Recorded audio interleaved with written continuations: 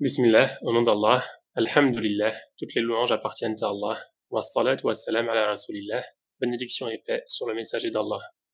Salam alaikum wa rahmatullah, Allah, comment vas-tu? Salam, salam, kato. Alhamdulillah, et toi? Ça va très bien. Salam alaikum à les auditeurs en ligne, en direct. Euh, J'espère que tout le monde va bien. Aujourd'hui, on va faire un, un épisode euh, assez différent d'habitude, donc euh, en collaboration avec le avec le podcast Muslim Makers et euh, Tarwa TV. Peut-être euh, des personnes auront, reconnu la voix. Euh, c'est vrai qu'il met pas souvent ma tête et c'est une première. Donc aujourd'hui, on va être un peu sur le format de vivre la révélation. Certains peuvent connaître peut-être ceux qui connaissent les podcasts. Donc en général, ce qu'on fait dans ce genre de, de format, c'est qu'on reprend un passage du Coran et donc Fathallah euh, revient sur certains enseignements de ces passages-là et puis on échange euh, sur nos expériences respectives et sur les choses qu'on a à dire dessus. Et puis on espère avoir vos retours ici euh, euh, si vous avez des commentaires et, des questions à poser euh, par la suite, Inch'Allah. Donc Fathallah, je te laisse peut-être euh, parler un petit peu de, de Tarwa TV avant de commencer peut-être parce que je pense que les auditeurs du podcast aussi euh, ne connaissent pas forcément. Avant de commencer l'émission, oui, c'est une petite expérience. L'idée de Tarwa TV, c'était vraiment d'essayer d'initier des, des projets en partenariat, même avec des structures locales où des intervenants pouvaient se, se déplacer. C'est pas toujours simple à mettre en place, mais en attendant, ben, ça fait déjà quelques temps qu'on coopère avec, euh, avec Abdelrahman de, de, Muslim Makers sur d'autres projets, et puis on s'est dit, ben, pourquoi pas faire converger justement dans ces dynamiques de partenariat. Et là, l'idée de l'émission d'aujourd'hui, et on, espère le répéter à, de nombreuses reprises par la suite, Inch'Allah, c'est que ben, fait l'émission en direct sur Taqwa TV, dont, de, diffuser une certaine culture de l'islam qui permet aux, gens de, prendre conscience des valeurs de l'islam et de notre relation avec Allah et qui nous permettent d'agir au quotidien. Et, euh, en plus de la diffusion en direct sur Taqwa TV, ben, l'émission va être diffusée sur, euh, sur le podcast euh, Muslim Makers par la suite, Inch'Allah, comme c'est d'usage dans les émissions qu'on fait habituellement avec, avec Abdelrahman. Donc ça fait partie de ces petites initiatives de, de coopération, dans, puisque les démarches sont, sont convergentes et, et l'idée c'est de, bah, de ce qu'on peut mutualiser, faire converger et, et, faire en sorte que les gens s'entrecroisent. Euh, Alhamdulillah, j'espère que ça sera bénéfique, Inch'Allah. Inch'Allah, j'en suis sûr. Donc aujourd'hui, on va, on va traiter, comme vous avez pu le voir, donc euh, des versets qui traitent autour euh, du jeûne du Ramadan. Donc on va faire ça, je pense, en deux parties. Euh, donc, le premier épisode sera aujourd'hui. On fera un, deuxième épisode, Inch'Allah, dans quelques jours ou quelques semaines. Donc, euh, là, je pense que je vais, je vais te laisser la main. Donc, on, on va traiter des versets 180, 180, à partir des versets 180 de Surat al-Baqarah, et puis, euh, et puis tu, on verra où, où tu t'arrêtes. Je pense 182, tu disais Je pense 183, Inch'Allah. 183, d'accord. Inch'Allah. أعوذ بالله من الشيطان الرجيم كتب عليكم إذا حضر أحدكم الموت إن ترك خيرا الوصية للوالدين والأقربين بالمعروف حقا على المتقين فمن بدله بعدما سمعه فإنما إثمه على الذين يبدلونه. إن الله سميع عليم. فمن خاف من موص جنفا أو إثما فأصلح بينهم فلا إثم عليه. إن الله غفور رحيم يا أيها الذين آمنوا كتب عليكم الصيام كما كتب على الذين من قبلكم لعلكم تتقون Je pense qu'on va s'arrêter à ce passage-là aujourd'hui. Je vais essayer de proposer une petite traduction avant de rentrer dans, dans le commentaire. Il vous a été prescrit, euh, lorsque l'un d'entre vous est proche de la mort, et qu'il laisse une partie de ses biens, de faire un testament pour ses, euh, pour ses parents et pour ses proches de la manière la plus convenable. Cela est un, euh, est un devoir pour al-muttaqin, pour ceux qui ont une conscience vigilante ou qui craignent Allah. Euh, celui qui change cela après avoir entendu, le, mal reviendra à celui qui a changé le testament, pas à celui et certes, Allah est euh, audient et, euh, et, et, omniscient et connaisseur. Euh, et celui qui craint euh, qu'il y ait euh, un, un, un, mal euh, ou une, une, comment dire Pas un mal, qu'il y ait un un mal ou qu'il y ait que que que l'un qui soit soit lésé, par exemple, euh, et qui va essayer d'établir une concorde, ou en tout cas d'améliorer le testament pour, qu'il soit plus juste. C'est ça l'esprit en gros du verset. Il n'y a pas de mal pour lui, et Allah est certes pardonneur et miséricordieux. Ô vous qui portez la foi, il vous a été prescrit le jeûne, comme il a été prescrit à ceux qui vous ont précédés euh, avant vous. Euh, peut-être atteindrez-vous taqwa, euh,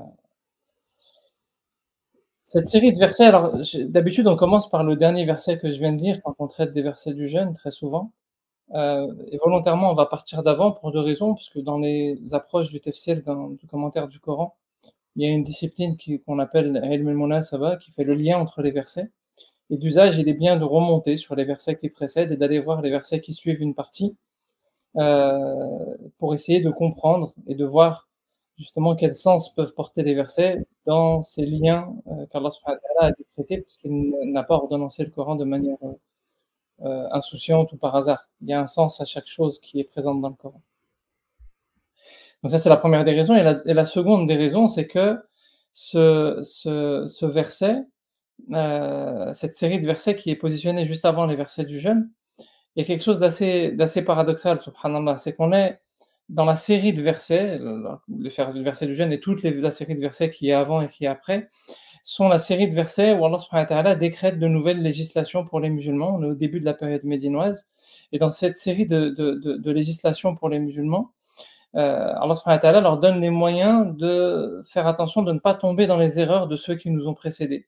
Heu, Banu Israïl sont cités dans le Coran non pas pour, heu, pour être critiqués, mais parce que ce sont des gens qui affirmaient porter la foi, qui ont commis certaines erreurs et Allah nous met en garde de commettre ces mêmes erreurs, parce que c'est pas parce qu'on dit porter la foi qu'on ne va pas commettre d'erreurs et donc Allah nous éduque et nous donne un une série de nouvelles règles.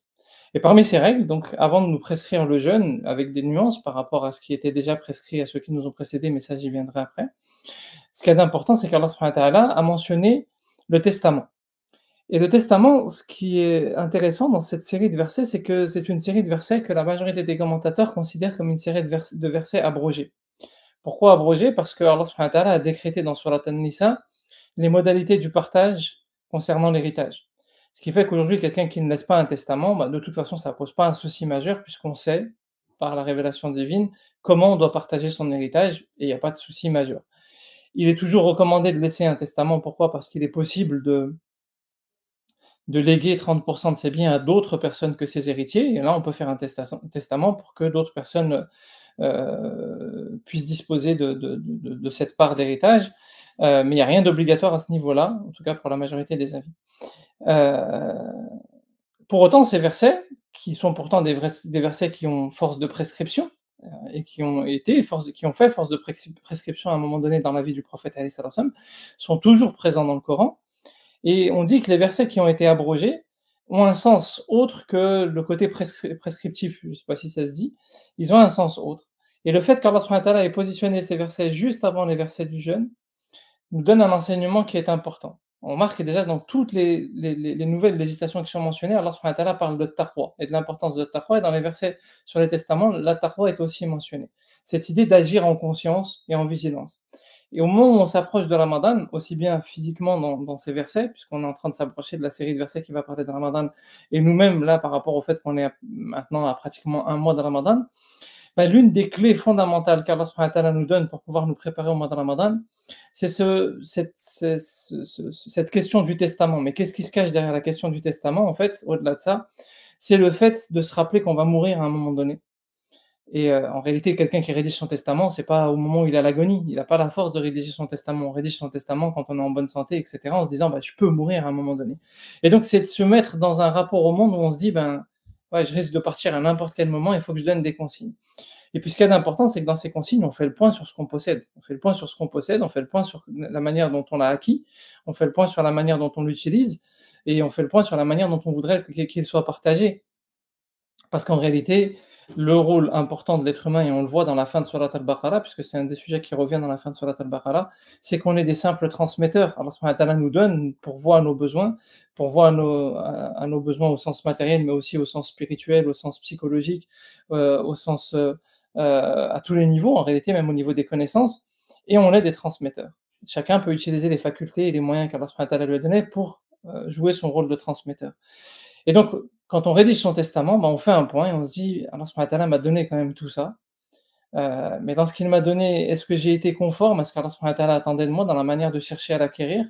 Ou est-ce que j'ai transgressé par moment? Ou est-ce que je me suis permis certaines largesses? Ça, c'est un premier niveau d'interrogation. Puis le deuxième niveau d'interrogation, c'est ben, comment est-ce que je l'ai distribué? Qu'est-ce que j'en ai fait? À qui je l'ai donné? À qui je ne l'ai pas donné Etc. Euh, et ça, cette, cette préoccupation-là, elle est fondamentale dans le moment où on prépare le mois de Ramadan. Parce que l'un des enseignements du mois de Ramadan, c'est que c'est, le, certes, on le verra par la suite, le mois du Coran, mais c'est aussi le mois du jeûne. On connaît d'ailleurs sous cet angle-là principalement. Et le mois du jeûne, c'est, euh, c'est un mois qui a certes des facultés pour, au niveau de, de, notre rapport au temps, ça nous permet de, de, casser certains rythmes, de changer nos rythmes de vie, ça nous permet d'assainir notre santé, etc. Ok mais ça nous permet de ressentir la faim. Ça nous permet de ressentir la difficulté que, ressentent certaines personnes. Et ça, c'est important. C'est-à-dire qu'on ne peut pas être dans le partage et dans la transmission quand on ne connaît pas vraiment la difficulté de ce que, que, vivent, que peuvent vivre d'autres personnes qui sont dans la faiblesse et dans la difficulté. Ça, c'est un grand enseignement managériel de l'islam et, pédagogique de l'islam. C'est que parfois, il faut se mettre à la place des autres et à la place des personnes qu'on pense aider et à qui on pense transmettre. Et le mois de Ramadan, bah, c'est une école à ce niveau-là. Pendant un mois, on va ressentir la faim. Encore faut-il ne pas se gaver le soir en se remplissant l'estomac de manière malsaine, parce que sinon on est complètement en incohérence avec les enseignements du jeûne. Mais on est censé ressentir la faim. Et avant de ressentir la faim, une des choses qui va nous mettre dans les bonnes dispositions, bah, c'est qu'il faut qu'on fasse le point sur ce qu'on possède et qu'on fasse le point sur comment on l'utilise et comment on le partage et à qui on le distribue et à qui on pense que cela devrait revenir parce que la mort pourrait nous toucher. Et au moment où le ramadan va arriver et on va ressentir la faim, bah là, ça peut développer des facultés encore plus intéressantes où on va pouvoir plus facilement peut-être donner, plus facilement partager et surtout plus facilement identifier à qui on doit donner et à qui, vers qui on devrait partager et vers qui on devrait transmettre. Et donc cette série de versets qui est positionnée avant le mois de Ramadan est une série de versets qui est très très importante parce que très souvent on parle de la préparation du mois de Ramadan en s'entraînant à jeûner pour préparer le corps, ce qui est bien, en s'entraînant à jeûner aussi pour se préparer spirituellement, en s'entraînant à prier la nuit, parce que c'est, euh, comme le prophète il dit, mais il dit dans un autre texte, donc dans un texte, il est dit, celui qui jeûne le mois de Ramadan avec foi et euh, en espérant la récompense ou avec des comptes, euh, il lui sera pardonné ses péchés passés. Et dans un autre texte, il est dit, Man Ramadan, donc celui qui veille les nuits de Ramadan avec foi et des comptes, il lui sera pardonné ses péchés passés. Et donc, euh, la prière de la nuit peut être une préparation, le fait d'intensifier sa lecture du Coran peut être une préparation, mais le fait aussi de faire le point sur ce qu'on possède, comment on l'acquiert, qu'est-ce qu'on en fait, est un enseignement très important. Parce que ce rapport à l'argent, on a besoin de faire le point annuellement sur ça pour pouvoir se recalibrer. D'ailleurs, la zakat, c'est pareil, c'est une obligation qui se fait annuellement. Alors, c'est une obligation qui se gère normalement dans la collectivité, etc. Mais on a besoin de faire ce bilan sur ce qu'on possède, etc. La zakat, c'est pareil, c'est une obligation qui revient une fois par an.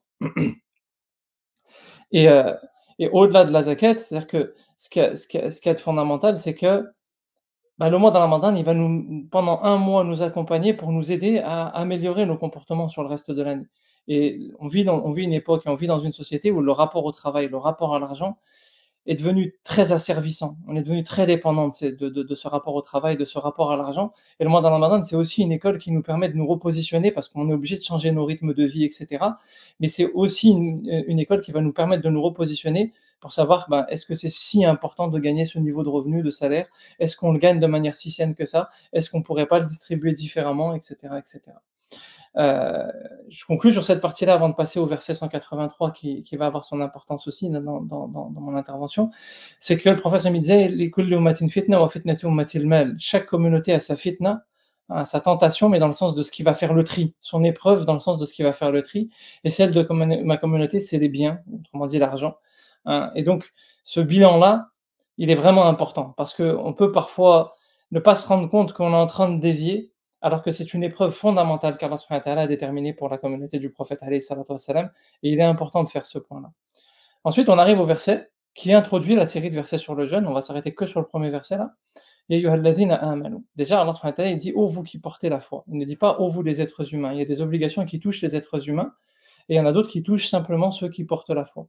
Autrement dit, le jeûne n'est pas qu'un simple exercice euh, sanitaire ou d'amélioration de la santé ou d'éducation à, à, la santé corporelle et que ça, ça peut être bénéfique pour le corps. Tout ça peut l'être, très certainement, mais il y a un enjeu de spiritualité avant tout. C'est ça qui est fondamental. Allah n'a pas prescrit le jeûne pour l'humanité. Euh, bien que le jeûne peut être bénéfique, peut-être pour l'humanité sur certains aspects. Mais là, et, on voit par exemple dans certains versets qu'Allah s'adresse à l'humanité parce que les règles qui suivent vont être fondamentales pour le fonctionnement des sociétés, qu'on soit croyant ou pas. Mais là, il s'adresse à ceux qui portent la foi parce que l'enjeu est d'abord un enjeu de spiritualité, un enjeu de cœur, un enjeu de relation avec Allah. C'est ça qui va être déterminant dans le mois de Ramadan. Hein, il faut faire très attention de ne pas tomber dans le piège, d'avoir un regard sur le mois de Ramadan qui est un regard uniquement de, santé euh, et de rapport à l'alimentation. Il y a d'autres enjeux qui sont bien plus importants, hein, et c'est d'ailleurs ce qui faisait que le prophète me disait euh, certains ne retiendront de leur jeûne que le fait de n'avoir pas mangé, de n'avoir pas bu.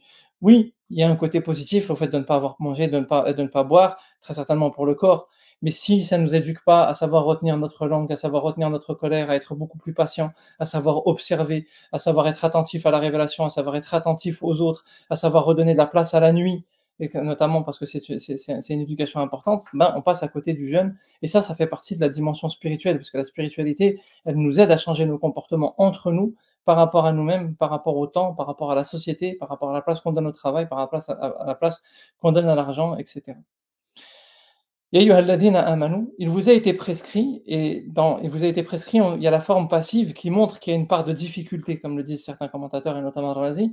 Le fait qu'Allah emploie la forme passive, c'est qu'il y a une part de difficulté. Et donc, euh, se poser la question des horaires, etc., qui peuvent être plus faciles, etc. Euh, oui, certes, il y a peut-être des horaires qui sont plus simples que d'autres, il y a peut-être des régions où c'est plus simple de jeûner que d'autres, au sens physique du terme, mais il y a une part de difficulté qu'il faut essayer de surmonter pendant le jeûne et à laquelle il faut faire face et notamment en redonnant de la place à la nuit, en redonnant de la place au Coran, en essayant de se bousculer par rapport à nos rythmes du quotidien, il y a une part de difficulté dans le jeûne. Quand Allah emploie la forme passive, c'est comme pour nous montrer, Allah ne nous veut pas du mal. Mais parfois, il y a certaines règles qui vont nous bousculer parce qu'elles sont nécessaires. Et cette forme passive montre qu'Allah, malgré le fait qu'il veut du bien à ses créatures, ben, il exige certaines règles. Hein.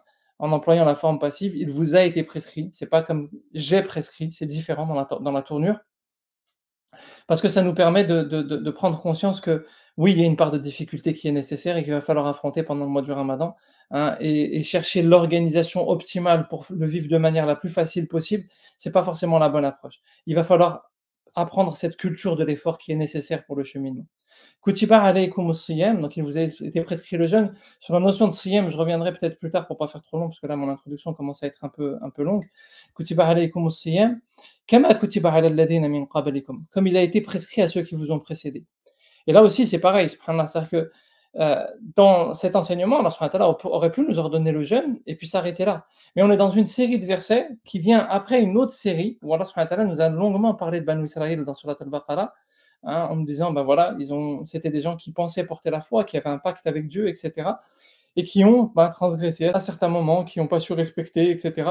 Et Allah nous édicte certaines nouvelles règles. Mais en même temps qu'il nous édicte certaines nouvelles règles, il nous dit, comme il a été prescrit à ceux qui vous ont précédés. Euh, il nous rappelle qu'on participe d'une histoire, qu'on participe de l'histoire de tous les prophètes qui sont venus avant le, avant le prophète Mohammed.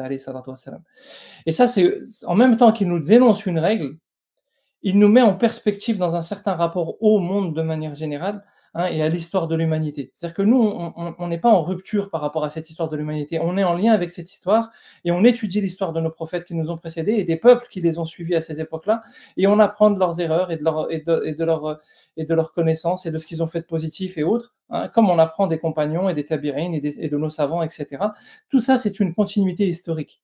C'est pour ça que d'ailleurs, j'ouvre une petite parenthèse, là, à l'heure où on est beaucoup dans la condamnation de ce qui se passe euh, en, Palestine occupée et des, agressions euh, euh, israéliennes sur, sur Gaza et, en, Cisjordanie, etc., et, des massacres qui sont perpétrés.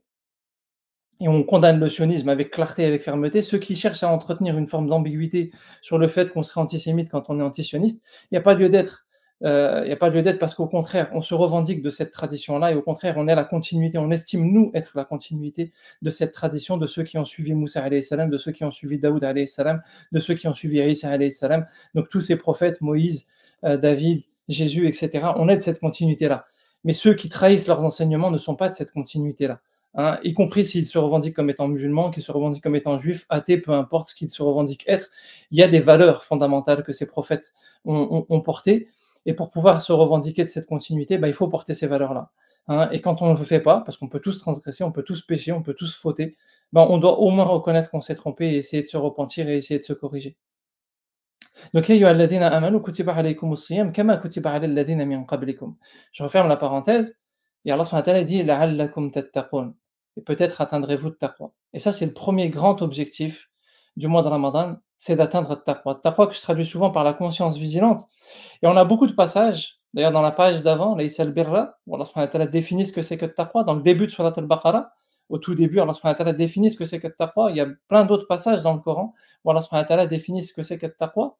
Comme j'ai déjà pris beaucoup de temps, je ne vais pas réénumérer les, versets, mais, mais, je vous invite à, aller vers ces versets, euh, dans le verset 177 notamment, et dans le début de Surat al-Baqarah. Euh, dans Surat al-Imran, j'ai plus les numéros de versets, mais c'est des versets qui commencent par Sari'u et puis il y en a d'autres aussi dans le Coran. Mais dans ces versets, là on a un certain nombre d'éléments qui sont importants que je voudrais mentionner. Le premier élément, c'est que celui qui vit dans le taqwa, c'est quelqu'un qui est en lien avec le monde invisible. Quand on prend des décisions aujourd'hui, on est beaucoup dans le calcul des considérations matérielles. Qu'est-ce que je possède? Euh, Comment je me sécurise avec un toit, avec ma voiture, avec ceci, avec cela, etc. Mais on oublie de penser aux anges qui sont autour de nous. On oublie de penser à la capacité qu'Allah a, puisque c'est lui qui décrète, c'est lui qui crée. On oublie de penser au paradis et à l'enfer. Très souvent, ces éléments-là ont tendance à disparaître. Alors, ce n'est pas toujours le cas, alhamdulillah, mais c'est souvent une problématique. Celui qui vit dans le taqwa, c'est quelqu'un qui se rappelle à chaque fois qu'il a une décision à prendre que dans l'équation, l'élément le plus important, c'est la présence du monde invisible autour de lui. Même s'il ne le voit pas avec ses yeux, il doit essayer de faire en sorte que son cœur y soit attentif et son cœur voit ces anges-là, ressente la présence de ces anges. Et ça, ça change tout dans notre capacité de décider, d'avoir de l'audace, mais aussi d'avoir de la retenue par moment, hein, dans les moments de colère ou dans les moments où on devrait être patient. Donc, la place du monde invisible, c'est le premier élément qui est fondamental. Et le mois du jeûne est un mois qui nous apprend à renouer avec le monde invisible. Quand on se pose, quand on arrête de courir, quand cette fatigue-là, ces moments où on est présent dans la nuit, nous aident à nous rappeler qu'il y a un monde invisible qui détermine nos actions aussi dans ce monde. Le monde invisible, c'est pas que après la mort. Il est présent aujourd'hui au quotidien dans nos vies. Notre âme est liée au monde invisible. La deuxième des choses qui est très présente dans ces versets, c'est que quelqu'un qui vit dans le taqwa, c'est pas quelqu'un qui vit une spiritualité en ressentant des choses extraordinaires et qui est coupé du monde. Non, c'est quelqu'un qui est dans le souci des autres, qui partage. Hein, dans le verset 177, Allah il dit hein, qui partage avec ses proches, avec les autres, avec, etc. Quand Allah dit la première définition qu'il donne, ceux qui partagent en cachette et en public. Hein, c'est-à-dire que peu importe comment tu partages, il y a des moments c'est plus pertinent de le faire en cachette ou en public, mais il a le souci de partager. Hein. Euh, euh, euh,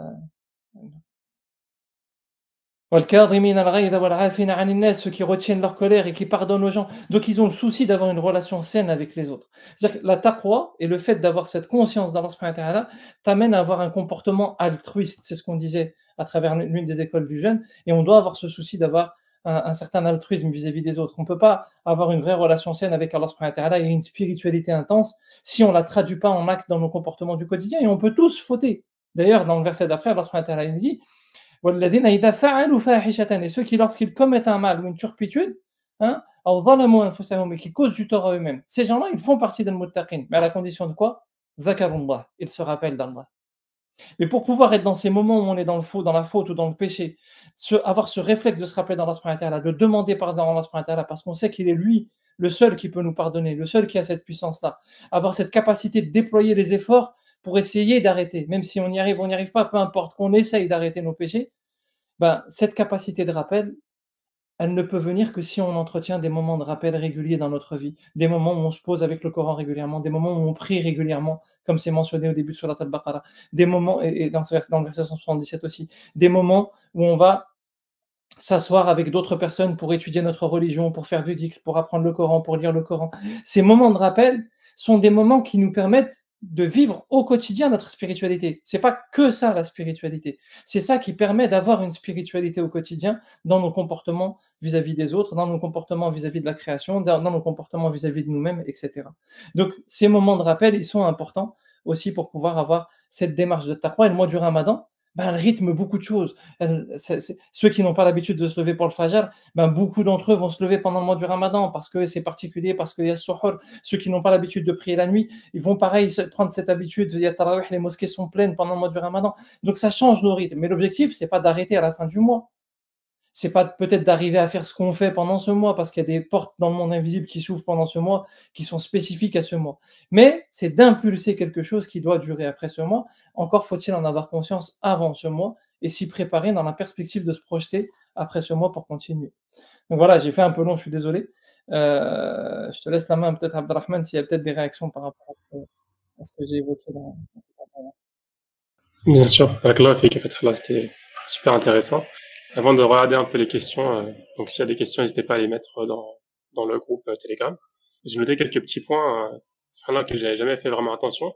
Euh, quand tu as parlé du verset sur euh, sur l'héritage, tu as fait allusion au fait que que voilà c'était quelque chose d'important d'important à faire. Et à la fin du verset, donc Dieu évoque al-muttaqin, donc haqqan al-muttaqin, un devoir, un pour les pour les pieux. Et donc Allah Azzawajal, il répète ça plus tard, en fait, euh, dans le dernier verset que tu, dans lequel tu as parlé, par rapport au CM, la'allahum yattaqun. Et tu as dit que par rapport au CM, on avait tendance, en fait, à, à être trop en rapport avec les considérations matérielles, euh, trop, trop approché par rapport à ça. Et, et subhanallah, dans, dans le verset par rapport euh, au testament aussi, c'est aussi l'exercice qu'on doit faire. Euh, je me, je, me, suis rendu compte en lisant ça, c'est qu'on est censé compter, en fait, tout ce qu'on a, euh, pouvoir savoir à qui le, le redistribuer et, et, voir. Donc, euh, cette considération matérielle, j'ai pu voir qu'il y, y, a un parallèle à faire peut-être. Euh, je trouvais ça intéressant. Il y a une deuxième chose aussi, c'est par rapport au témoignage. Donc, euh, il y a le témoignage euh, donc euh, dans le verset par rapport à l'héritage et au testament. Allah, il, il, évoque la personne qui, qui pourrait faire un mauvais témoignage lors d'un lors d'un héritage ou d'un l'écriture d'un testament. Et, euh, et ce là aussi, dans, quand on jeûne, notre, notre corps aussi, euh, aussi témoignera, là pour nous, euh, pour ces, pour ces actions-là. Donc, euh, c'est des choses qui me venaient en tête. Je sais pas si c'est vraiment très pertinent, mais euh, je vais les partager. Et euh, moi, j'ai un problème. Enfin, j'ai un problème. J'ai toujours la, même réflexion avant, avant Ramadan et la même crainte, on va dire. C'est d'essayer de, de, trouver le meilleur ratio quantité de l'adoration versus qualité. faire attention à avoir une bonne qualité. Mm. Je vais te partager mes comptes, mais ce que je fais personnellement, moi, ce que j'essaye de faire, ça m'aide personnellement, peut-être que ça va aider d'autres personnes, c'est que j'essaie de me mettre des objectifs. Depuis quelques années, j'ai commencé ça. Je prépare Ramadan en avance et je me mets des objectifs, en fait. Je les écris. Et euh, tout le long du mois, donc, euh, je fais attention à ce que, ce que j'ai pu accomplir. Et à la fin du mois, je fais un bilan. Et avant de commencer Ramadan prochain, je sais à peu près où j'en étais, ce que j'ai réussi à accomplir le, le mois d'avant, pour savoir à peu près, avoir une sorte de, de benchmark de, de repères pour savoir à peu près ce que, j'ai fait l'année dernière et essayer de faire un peu plus au moins. Euh, Est-ce que toi, tu as des, conseils par rapport à ça? Alors déjà, sur, le, sur, sur la série de versets, il y, a un vrai fil conducteur. Hein, la Al-Baqarah, c'est une surat qui mérite d'être méditée en profondeur. Il y a un vrai fil conducteur d'un passage à un autre, d'une recommandation à un autre, d'un nouvel ordre à un autre. Et puis, il y a un état d'esprit qui permet de, de, de, de, nous éduquer à, à changer notre rapport au monde au, singulier et au monde au pluriel. Euh, mais ça, bon, c'est encore un autre sujet encore plus vaste. Mais après, pour revenir sur ce que tu étais en train d'évoquer là à l'instant concernant la préparation à la Ramadan et la question de quantité-qualité, euh, qui est une question que beaucoup de gens, je pense, se posent, parce que c'est vrai que pendant le mois du Ramadan, on se dit, ben, ça serait bien de faire euh, multiplier les bonnes actions, euh, c'est l'opportunité, etc. Et, et, en même temps, parfois, on a l'impression d'être en mode TGV, sauf que dans l'année, on est en mode TGV sur d'autres choses, et puis là, on est en mode TGV sur, sur le Coran. Moi, je pars du principe que euh, il faut pas se leurrer sur le fait que pour avoir de la quantité, il faut aussi quand même avoir un peu de quantité. C'est-à-dire que Allah subhanahu c'est pas pour rien qu'il nous parle des 7 degrés du paradis, qu'il nous parle de euh, que le professeur nous incite à une certaine quantité de, de, récitation du Coran, etc. En disant le minimum c'est 30 jours par exemple ou, ou autre, et que les compagnons le récitaient, même si c'est pas tous les compagnons, mais voilà, c'est en tout cas un, un, récit qui nous est rapporté en 7 jours. Donc il y a dans le rapport à la quantité, il y a une certaine importance parce que euh, quelqu'un qui dit je fais de la quantité, de, la qualité, mais il prend pas le temps de, vraiment enraciner les choses aussi par de la quantité, ça va, je, crains qu'il puisse s'illusionner à un moment donné. Donc, il faut faire attention, la quantité a son importance. Pour autant, faire de la quantité sans chercher à comprendre ce qu'Allah nous dit, sans euh, arriver à, en tout cas, tenter de trouver des leviers pour faire en sorte que ce qu'on comprend, on arrive à l'appliquer ou que ça permette de changer nos quotidiens, notre comportement avec nos familles, notre comportement avec l'argent, notre comportement euh, avec ceux qui sont en difficulté dans la société, notre comportement euh, face aux injustices, notamment par exemple ce qui se passe en Palestine aujourd'hui, mais pas que. Y a, on a vu l'histoire des agriculteurs en France il y a quelques temps. Qu'on soit plus altruiste, etc. Si ça ne nous aide pas à changer, à la quantité, en fait, elle peut être un témoignage contre toi, Yom Qiyamah, donc c'est problématique. Moi, j'ai pas de réponse toute faite par rapport à ça, pour la simple et bonne raison que je pars du principe que c'est ce moment de bilan qu'on doit faire avant le ramadan qui va être déterminant. Au moment où on se pose et qu'on fait un peu le point sur ben, le rapport qu'on a au Coran toute l'année, le rapport qu'on a à l'argent, le rapport qu'on a au travail, le rapport qu'on a à notre rythme, aux prières obligatoires, etc., notre culture du devoir, notre souci de l'altruisme, l'état de notre cœur, etc. Ça, chaque soir, normalement, avant toute l'année, on devrait le faire mais au moins avant le ramadan, on doit se poser, faire ce point. Et en fonction de ça, je pense que pour chaque personne, il y a une conviction à un moment donné de se dire, j'ai quand même besoin là de, de, de, de, monter en intensité parce que je suis trop négligent, il faut que j'aille sur de la quantité. Là, il faut que, euh, ouais, comprendre, etc. et tout, c'est bien, mais il faut que j'aille sur de la quantité. Et donc, je veux, il faut que, faut que, faut que je sois plus, euh, plus exigeant sur moi et cette année, ça va être ça. Et puis, il y a d'autres personnes qui vont se rendre compte que de la quantité, pourquoi pas, les récompenses et autres, mais, mais là, je suis, je suis dans le flou, en fait. J'ai besoin d'avoir de la clarté, il faut que je médite sur les versets, que je vais étudier les tafsirs, etc., les tafsirs, etc. Et ben, il faut qu'il le fasse. Il n'y a pas de, n'y a pas de, je pense, de règles préétablies par rapport à ça. Et il faut pas, faut pas avoir de, euh, d'inquiétude dans le sens de se dire oui mais Alif c'est une hasana, Lem c'est une hasana et puis pendant le mois du Ramadan ça peut être multiplié même jusqu'à 700 euh, je vais passer à côté de ça. Mais à chaque tafsir que tu lis tu as aussi une autre forme de récompense. Quand tu as le souci d'essayer de, de, de, comprendre et d'appliquer tu as une forme de récompense. Donc ce qui est important c'est de s'interroger par rapport aux signes qu'Allah a mis dans ta vie. Bah, qu'est-ce que tu dois faire toi pour pouvoir lui répondre? Parce qu'Allah nous parle avec le Coran mais il nous parle aussi avec ce qui se passe dans nos vies et on doit essayer de répondre. Et je pense que c'est pas c'est important que chacun se, se, se, pose la question et essaie de trouver la réponse, parce qu'il n'y a pas une réponse, je pense, euh, figée, même si les deux ont une certaine importance. Il ne faut pas tomber dans le piège de se dire euh, non, il n'y a que la qualité qui compte, quantité c'est n'importe quoi, c'est pas vrai. Euh, ou alors pendant le ramadan, c'est que la quantité, la compréhension, ce sera plus tard. C'est pas vrai, parce qu'il y a des portes qui s'ouvrent pendant le mois du ramadan que tu n'auras peut-être pas le reste de l'année, donc il faut faire attention aussi à ça. Non, euh, je te propose de jeter un œil aux, questions qui sont posées sur le chat. Euh, alors, il y avait une question, je crois que j'ai vu sur euh, deux personnes qui ont posé la question sur le testament, sur le caractère euh, obligatoire ou non du testament? Ouais, bah, sur, le testament, c'est un, petit sujet de divergence entre les écoles juridiques sur son statut, mais l'avis la prépondérant est que, est que c'est une recommandation. C'est une recommandation. Euh, après, il y a toujours des, cas de nuance, c'est-à-dire que pour quelqu'un qui sait que ses biens seront euh, peut-être pas forcément bien exploité euh, en totalité par ses héritiers et qui sait qu'il a euh, des biens en quantité, etc. et qu'il est, alors qu'il a la possibilité de, léguer 30% de ses biens peut-être à d'autres personnes qui en feront un meilleur usage, le niveau de recommandation va monter en intensité en fonction des avis juridiques qui sont donnés par certains savants. Mais, euh, mais de manière générale, on considère que c'est surtout une recommandation. Ce qu'il faut savoir, c'est que le statut de la recommandation en islam, on, on l'interprète souvent mal. C'est-à-dire qu'une recommandation doit être faite sauf si on a une contrainte qui nous empêche de le faire. Mais tout ce qui est de l'ordre du recommandé, on doit s'efforcer d'essayer de le faire. C'est-à-dire que quand Allah nous parle de recommandations, bah, chacun doit s'efforcer d'essayer de le faire. Après, c'est vrai qu'il y a certaines recommandations, alors là, on ne peut pas. Une obligation, bah, là, c'est un autre niveau. Tu, par exemple, la prière, bah, c'est une obligation, tu, les cinq prières obligatoires, tu vas la faire d'une manière ou d'une autre, même si tu es allongé sans tes ablutions sur un lit parce que tu n'as pas d'autres possibilités, que tu es enchaîné et autres, tu feras même avec tes yeux, mais tu vas la faire, la prière. C'est-à-dire qu'on va toujours trouver une, solution, mais pour que tu la fasses, tu la feras. Une recommandation, bah, par exemple dans la prière, il y a certaines recommandations, pour le coup, si tu ne les fais pas, c'est, moins problématique si tu es sous contrainte et que tu n'as pas la possibilité, etc. Mais si tu as la possibilité de faire ces recommandations, il faut les faire. Donc, euh, c'est une précision qui me semble importante, parce que souvent, quand on parle de recommandations, on peut avoir l'impression de se dire, bon, je le fais si je veux, je le fais pas si je veux pas. Si je veux cheminer vers Allah, les recommandations, elles sont indispensables, sauf si j'ai des difficultés qui m'empêchent de les faire. Il y a une question, bon, je les prends un peu dans le désordre hein, comme je les vois. Euh, une question que j'ai vue sur le fait que si on fait un mal pendant Ramadan, alors que, enfin, il y a des narrations, je crois, qui, parlent du fait que les shayatines sont, sont enchaînées. Est-ce que du coup, euh, enfin, les, mauvaises actions qu'on peut commettre, elles indiquent quelque chose de plus profond, peut-être pas. Enfin, je reformule la, la question, mais ça peut être ça. Est-ce que ça, ça, indique un caractère que c'est plus euh, des péchés qui viennent de nous plutôt que du West? C'est vrai que les, les sont enchaînées pendant, pendant le mois du Ramadan, donc normalement c'est un mois où il y a plus de facilité à faire le bien et plus de facilité à se détourner du mal. Pour autant, quand on fait du mal, même le reste de l'année, c'est nous qui sommes responsables, dans le sens où on a cette volonté, même si Allah crée le bien et le mal, mais c'est notre volonté à nous qui va aller dans un sens ou dans l'autre, soit dans le sens de faire du bien, soit dans le sens de faire du mal. Et notre volonté, on en est totalement responsable. La réalisation, ça, ça ne nous appartient pas, mais notre volonté, on en est totalement responsable. Et pendant le mois du ramadan, c'est pareil.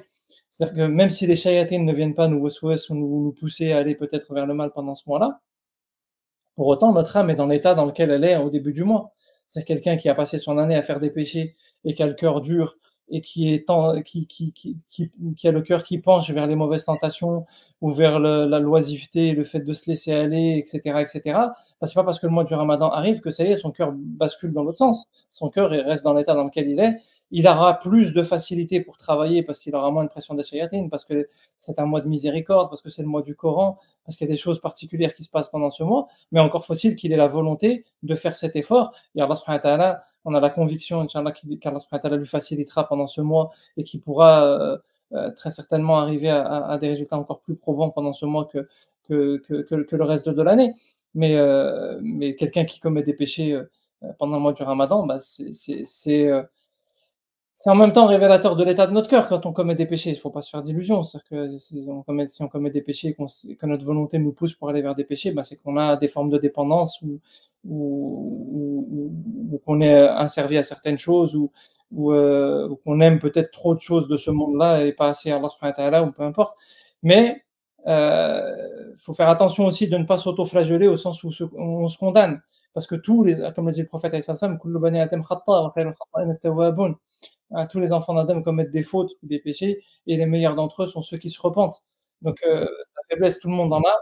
L'important, c'est d'essayer de se ressaisir, et le mois du Ramadan est une belle opportunité de se ressaisir, même si certains peuvent peut-être chuter pendant ce mois-là. Bah, ça, reste une opportunité tant que le mois n'est pas passé de se ressaisir et de continuer à avancer. Et même quand le mois passe, Allah est, est plus puissant dans sa miséricorde que, le mois du Ramadan, qui est une des créations d'Allah.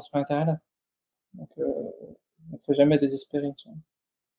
Et ça, rejoint une question d'une autre personne qui disait donc euh, si on a, passé l'essentiel de sa vie, euh, voilà, peut-être à faire des péchés ou à pas être euh, à être éloigné de la piété, comment on fait pour se rapprocher de, cette taqwa Quelles sont les priorités pour cette personne?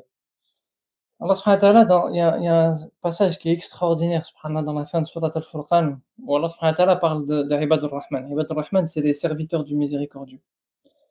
Et Allah va décrire qui sont les serviteurs du miséricordieux suite à une question un peu polémique que les Qurayshites avaient posée au prophète en lui disant Mais toi aussi, tu aurais plusieurs divinités, il y a Allah, il y a le tout miséricordieu, donc Ar-Rahman, Ar-Rahim, etc. Et ils voulaient jouer sur les mots, parce qu'on sait qu'Ar-Rahman, Ar-Rahim, Al-Karim, etc., ce sont des noms d'Allah, hein, et des attributs d'Allah, mais pas euh, d'autres divinités.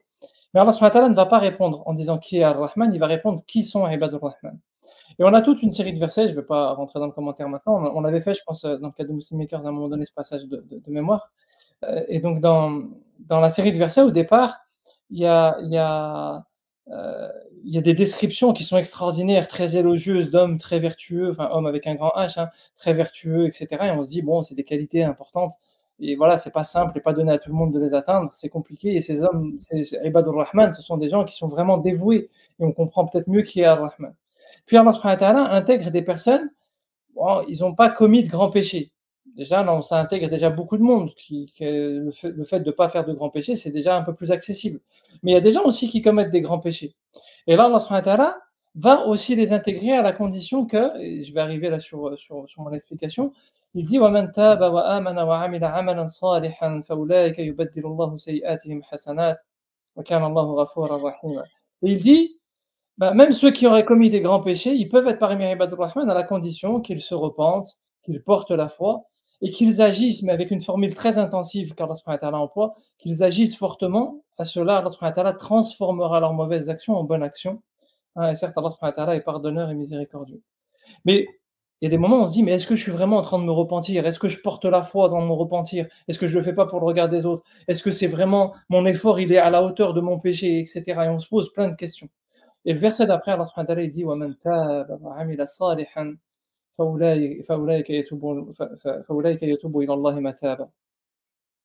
il dit, et celui qui se repent euh, et qui œuvre en bien, mais de manière simple, D'accord? Celui-là est celui qui se repent réellement vers Allah. Autrement dit, Allah ce qu'il nous dit, c'est que dans ces moments-là, tu as pu faire ce que tu as pu faire dans ta vie. L'important est la volonté de revenir vers Allah et traduis-le dans un acte.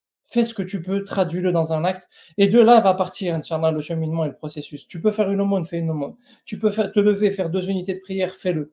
Mais tu as déclenché quelque chose qui va permettre d'enclencher un processus dans ta relation avec Allah. Tu vas peut-être rechuter en chemin mais tu as enclenché quelque chose et fais confiance dans le fait qu'Allah il intègre ces gens-là dans Ibadur Rahman. Essaye d'être sincère dans ta démarche, traduis-le dans un acte, celui qui est à ta portée, et commence le chemin et avance. C'est ça qui est important. Et Allah il est au-delà de toutes les autres considérations. Euh, quand j'étais un peu plus un peu plus jeune, je je me rendais pas forcément compte en fait euh, des progrès que, que j'essayais d'accomplir pendant Ramadan et euh, selon selon l'environnement où on est. Hein. Enfin, ça dépend. Je pense que c'est c'est différent pour tout le monde, mais mais on va essayer de. Parfois, on va avoir une sorte de pression euh, pour pouvoir faire la même chose que ce que notre entourage fait, euh, que ce soit beaucoup de choses ou peu de choses. Hein. Et parfois, on peut faire des choses qui même peuvent être, euh, je me suis rendu compte, qui ne font pas sens. Par exemple, euh, euh, aller prier tout à et pas se lever pour le fajr, par exemple, ce genre de choses. Et il y a plein de choses comme ça en fait. On se rend pas forcément compte que ça fait aucun sens. Par exemple, continuer à faire certains péchés et faire euh, plein de. On pensait que ça, ça compense de faire certaines autres choses. Euh, Est-ce que toi, tu as pu remarquer ça aussi? Est-ce que tu, ah, tu as des conseils généraux à donner par rapport à ça Il y a une problématique. Il y a deux niveaux en fait dans la, dans la réponse. Le premier niveau, c'est qu'il faut faire attention de ne pas chercher à faire ce qu'on aime faire ou ce qu'on a envie de faire. C'est-à-dire que euh, il y avait un de nos chouïrs qui nous disait de faire très attention. La darwa et le, fait de se mettre au service d'Allah, ça peut devenir un loisir comme celui qui va s'occuper de son club de sport ou celui qui va s'occuper de son club de musique ou de machin. Et toi, tu vas t'occuper de ta mosquée. C'est ton petit loisir parce que ça t'amuse bien, parce que voilà, ça te permet d'avoir une vie sociale et, d'avoir une certaine reconnaissance et autres. Faire très attention à ça. C'est-à-dire que quand on chemine, on chemine selon ce qu'Allah nous enseigne parce que c'est lui qui connaît la route. C'est lui qui connaît la route, c'est lui qui connaît le chemin. Et si Allah a déterminé un certain nombre de choses qui sont plus importantes que d'autres, les obligations notamment, les recommandations ensuite, etc., vous allez me dire, mais selon la vie de qui Bon, peu importe, vous avez une école juridique que vous suivez et puis vous essayez de vous tenir. Vous avez un chef en qui vous avez confiance qui peut vous conseiller. Donc, ces éléments-là vont vous aider à, à un moment donné faire un choix qui va permettre de prioriser et de ne pas tomber dans j'ai envie, ça me plaît bien, je me sens plus à l'aise sur ça. Pour autant, je nuancerai mon propos sur un aspect. C'est-à-dire que c'est Allah ça, je ne peux pas nuancer ça, c'est Allah qui connaît la route et ça c'est fondamental et on doit suivre le chemin que le prophète nous a enseigné et que la révélation nous enseigne et on doit prioriser selon ces critères-là. C'est-à-dire que faire la prière la nuit et ne pas se lever au fajr, ça n'a pas de sens. D'accord? Prie le fajr, bats-toi pour prier le fajr à l'heure, même si tu n'arrives pas à prier la nuit, ça viendra après. Même si d'ailleurs la première prière obligatoire a été certes la prière de la nuit, mais pour autant, à la fin, Allah a indiqué que ce qui était obligatoire, c'était les cinq prières. Donc euh, il sait comment on doit construire notre cheminement. Pour autant, derrière ça, il y a toujours une part de l'attitude plus ou moins importante. Et dans cette part de l'attitude plus ou moins importante, il ne faut pas nier nos qualités et ce qu'on est en fait. C'est-à-dire que quelqu'un qui a plus de faculté à jeûner euh, qu'à lire le Coran, quelqu'un qui a plus de faculté à lire le Coran qu'à aller faire des sadaqas, quelqu'un qui a plus de faculté à faire des sadaqas que euh, à s'occuper de, des gens et à les écouter, etc., etc. On pourrait prendre plein de qualités différentes, bah, qu'ils bâtissent sur ces qualités premières. Quelqu'un qui est plus du matin que du soir, etc. Il ne faut pas hésiter à consolider sur ces qualités premières parce que c'est des facultés qu'Allah nous a offertes et on va rendre compte de ces qualités-là. Il faut bâtir sur ces qualités en respectant les obligations qu'Allah a énoncées, les grands interdits. Et on va tous peut-être faillir. C'est pas parce qu'à un moment donné, euh, on n'arrive pas sur une chose qu'on doit tout jeter. Hein, ce qu'on ne peut pas réaliser en totalité, on ne jette pas le meilleur. Donc, on, on essaye de faire ce qu'on peut au maximum euh, et puis si on chute sur certaines choses, bah, on n'abandonne pas le reste, on fait comme on peut, mais par contre on bâtit sur ses qualités. Si j'ai plutôt ces facultés-là, je fais, mais on s'enferme pas dedans. On doit tous avoir ce souci de se dire Allah lui est capable de tout. Et si j'arrive à faire des choses, c'est pas parce que moi j'ai des qualités, c'est parce qu'Allah est capable de tout. Donc il faut essayer d'oser aussi s'extirper de ce qui sont ses forces premières pour tenter d'autres choses, mais en ayant consolidé sur ses qualités. Quelqu'un qui a la capacité, par exemple, de mémoriser le Coran, qui a une mémoire importante, etc., bah, qu'il le fasse, même s'il voudrait méditer, etc. Mais tu as ta faculté d'apprendre, apprends quelqu'un qui a la faculté plutôt de comprendre, etc., euh, et tu veux à tout prix apprendre, non, mais installe-toi dans la compréhension, etc. Mais l'un comme l'autre doivent quand même s'efforcer de se sortir de, de ce qui est leur faculté première, l'un pour essayer de comprendre un peu plus et l'autre pour essayer d'apprendre un peu plus. Donc ça, c'est important, je pense, de l'avoir à l'esprit. Très bien.